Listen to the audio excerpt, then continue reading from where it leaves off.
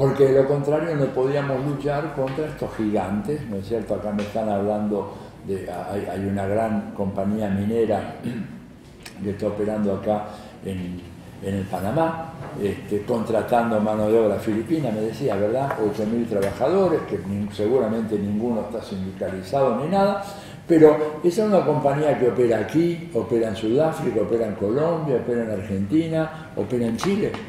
No la vamos a poder combatir solamente dando una batalla acá en Panamá, ni una batalla solo en Chile. Tenemos que tener una estrategia continental de lucha contra esa compañía, como una estrategia continental de lucha contra la Chevron, que ha hecho un desastre en la Amazonía ecuatoriana. Es el gran desafío nuestro. Y yo creo que tenemos que ver, y hoy en día tenemos posibilidades de avanzar por ese camino.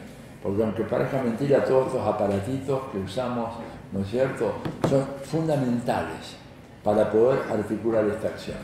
Y esto no es que lo digo yo, lo dice uno de los grandes pensadores del imperio norteamericano, que es el señor Sidney Brzezinski. Brzezinski habla de esto, habla diciendo lo que los smartphones han hecho para hacer posible estas grandes movilizaciones populares que antes no hubiera habido ninguna posibilidad de organizar eso, porque no tenía cómo comunicarse con la gente. Y hoy en día de repente se arma un grupo de Facebook y tenés 10, 15 mil personas conectadas en toque.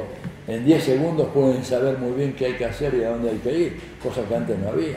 O sea, tenemos nuevas posibilidades de conexión internacional. Antes comunicarse con los compañeros de Chile, de Uruguay, de Argentina, desde acá era toda una tarea inmensa, ahora lo hacemos en un toque, en dos segundos. Entonces tenemos que potenciar esa posibilidad de coordinación, porque si no, tenemos enemigos globales y a enemigos globales no los vamos a derrotar con reacciones locales. Esto me parece que es fundamental. Yo decía anoche, un poco en broma, un poco en serio, si Lenin reviviera hoy y escribiera el quehacer, hablaría, sí, del partido político, hablaría de los movimientos sociales, pero sobre todo de este aparato, las potencialidades que estos aparatos nos dan para coordinar acciones de lucha que antes no teníamos. Antes, ¿cómo coordinábamos? ¿Cómo se enteraba uno, por ejemplo, de, lo que está pasando en Panamá? Tenías que esperar a que llegara un diario. Hoy en día ya es al toque tenemos la simultaneidad. Entonces, la derecha ha hecho eso muy bien. Y nosotros tenemos que hacer lo mismo. Tenemos que hacer lo mismo, coordinar estas luchas, ¿no es cierto? Dejar de lado ese, ese prejuicio. Se nos decía ahí en el Foro Social Mundial, se nos acusaba, decía, bueno, ustedes quieren revivir la tercera internacional, el estalinismo, todas esas cosas. Digo, nada de eso, no tiene nada que ver. Nosotros lo que queremos es luchar en condiciones de igualdad con un enemigo que tiene una estrategia planetaria y a la cual hay que oponerle otra estrategia planetaria. Vamos a, oponernos a la Monsanto desde Panamá, desde Argentina, desde Brasil, desde Uruguay, desde Nigeria, desde Senegal, desde Bangladesh.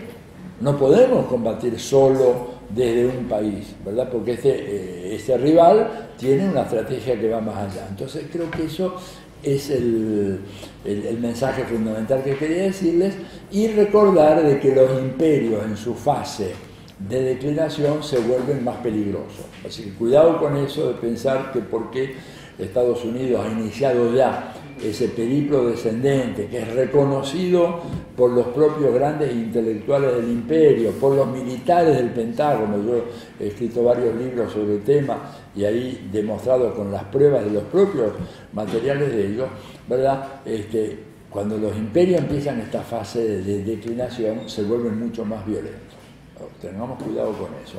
O sea, pueden hacer cualquier cosa. Les cuento, vengo de Curazao, ¿no es cierto? Hace poco más de un año, un año y medio, apareció un dirigente político que era el primer ministro de Curazao, ¿verdad? y que dijo voy a hacer unas denuncias espectaculares sobre la corrupción, eh, la base militar, etcétera, etcétera. El día lunes a las 9 de la mañana haré esa denuncia. El domingo en la tarde en la playa lo asesinaron a balazos. Así de simple. A la vista, ¿eh? unos sicarios lo liquidaron y punto. O sea, el imperio herido es como un, tigre herido. Es mucho más peligroso como animal que cuando está sin herido. Y está muy herido el tigre. El tigre imperial está muy herido. Tengan consciente de eso. El tigre imperial no puede resolver el tema de Siria, se les escapó de las manos no puede resolver el tema de Ucrania, no puede resolver el tema del mar del sur de la China, se le armó ahora un, desmadre gigantesco con los filipinos, ¿verdad? El presidente de Filipinas está insultando a diario a Barack Obama, o sea, hay una situación de descontrol. Entonces lo que van a tratar de hacer es recuperar América Latina. Acá tienen agua, petróleo, recursos minerales, biodiversidad, tienen, todo lo que necesitan, todo lo que necesitan. Y nosotros, grábense esto también, somos cualquier país, y con eso termino, porque he hablado demasiado, después ustedes preguntan, cualquier país de América Latina o el Caribe es más importante que cualquier otro país del mundo. Granada, que es probablemente la más pequeña de las islas del, del Caribe, ¿no es cierto?, provocó una invasión militar y un baño de sangre simplemente porque trató de extender eh, la pista de aviación para hacer posible la llegada de aviones comerciales y fomentar el turismo en la isla. Eso provocó una invasión, un baño de sangre, asesinato de Bishop, de su mujer, de los ministros, de todo esto. En ese mismo momento en que hacían eso en Granada, había gobiernos socialistas, radicales, en Angola, en Guinea-Bissau, en Mozambique, en Alto Volta, que ahora se llama Burkina Faso, ¿verdad? Y ni se les ocurrió a los americanos mandar este, tropas para allá. ¿Pero por qué? Porque están en África, que se mueran. En Europa, que se mueran. Lo dijo la señora Victoria Nuland cuando estaba ahí repartiendo botellitas de agua a las bandas nazis ¿eh? que estaban por asaltar el poder eh, en, Ucrania, en Kiev, el embajador de Lituania estaba con ella, le, le dijo, pero ¿no le parece a usted? Eso se captó a través de un micrófono de distancia, fíjense lo que es la tecnología, después salió por toda la web. Dijo, ¿no le parece a usted que Estados Unidos está extendiendo demasiado eh, su influencia acá, apoyando tan abiertamente a, estas bandas de maleantes, porque los tipos eran todos neonazis con los escudos nazis plantados acá, ¿no es cierto? ¿No le parece que esto puede perjudicar a Europa? ¿Y sabe cuál fue la respuesta de esta señora, la número 2 del Departamento de Estado? Que se joda Europa, dijo ella. Que se joda Europa. Pero claro, pero Granada, no, no, Granada no se jode. A Granada la recuperamos a como dé lugar. Por eso digo y esto grabémoslo, mucho, Estados Unidos está dispuesto a perder cualquier país en cualquier parte del mundo, menos la más pequeña isla del Caribe. Ni les digo Panamá, ni les digo Panamá.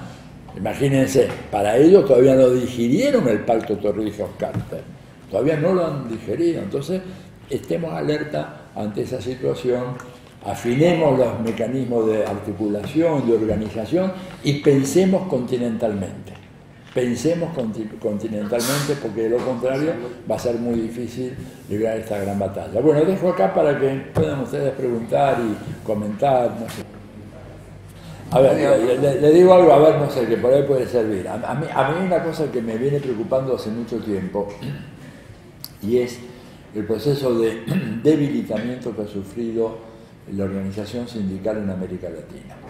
Lo veo yo con enorme preocupación. El otro día hablaba con algunos dirigentes de Argentina, de la ATE, la Asociación de Trabajadores del Estado, y yo les decía, miren, estamos en un momento muy especial, ¿por qué no se organiza una conferencia internacional de trabajadores del sector público en América Latina?